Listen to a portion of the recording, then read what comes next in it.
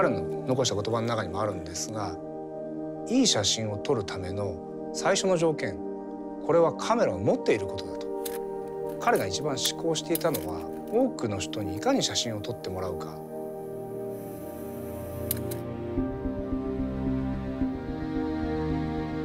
1960年代前谷さんというあのオリンパスの技術者がいましてね。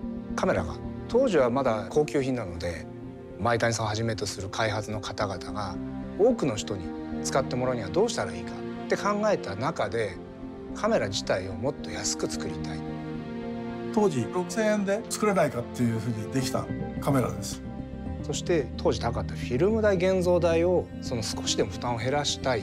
そうしたらハーフサイズのカメラを作ろう。そうすると倍撮れるのですごく経済的です。で 35mm カメラの24枚だと48枚撮れます。それがあの非常に画期的だということで、えー、使われた。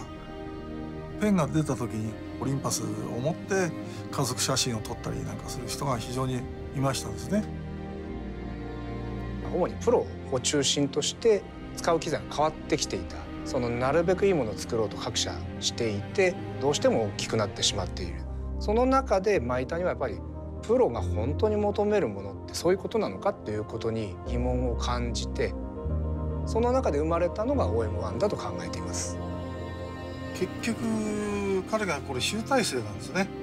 やっぱりかなり命が吹き込まれたカメラではないかなっていうふうに僕は思います。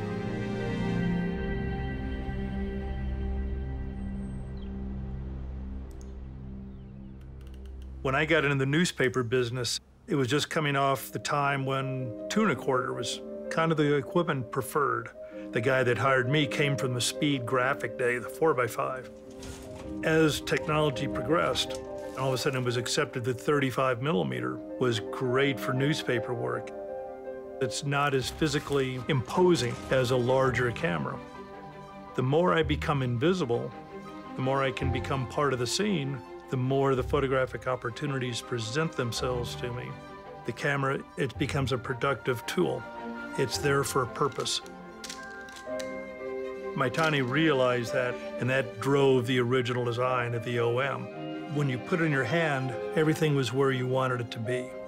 Aperture's right here. My two front fingers take care of that. Other fingers fall back to the shutter speed. It's an enabler, it's a conduit, not an interference between you and what's happening.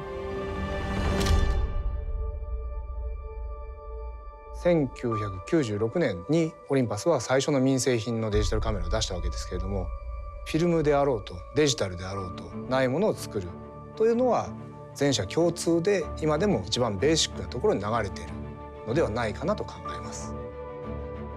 デザインを検討するときにスケッチを書いて最初検討してその次にですね 3D データを入れてからこのようなラフな削りのモデルを作ります。でこれをベースにボタンの位置が適切であるかとかあるいはグリップ性能はこれでいいかとかっていうのを、え検討していくんですけれども我々が一番に考えていることはやはり使われる方ユーザーのことです。There's certainly an emotional connection with, with your camera. As soon as you pick it up, you, you know, you have a feeling.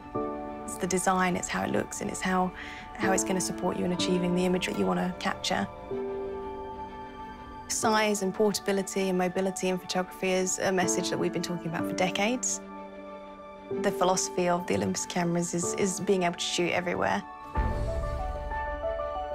We had a photographer go to Antarctica, and obviously you've got crazy low temperatures there. We created technology that enables them to do that. If you were that customer, what would the end solution be that you would want? It's important to always be thinking about what do people need? What are they going to need? What's the future going to be? And to aspire to deliver that.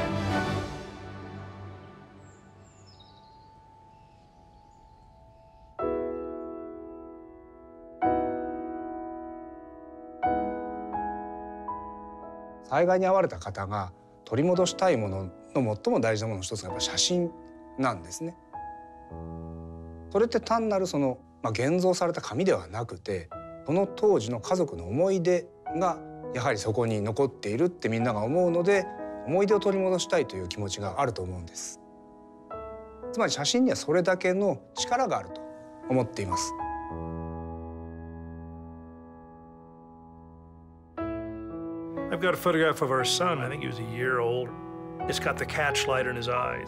Wonderful moment, him getting ready to tap the glass.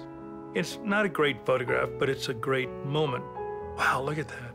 I remember that. Oh, look at this. You know, raising your kids, the pains and the struggle and the exhaustion and the joys and all these things that occur. What a wonderful confirmation it is of you as a human. This is who we are and who we were.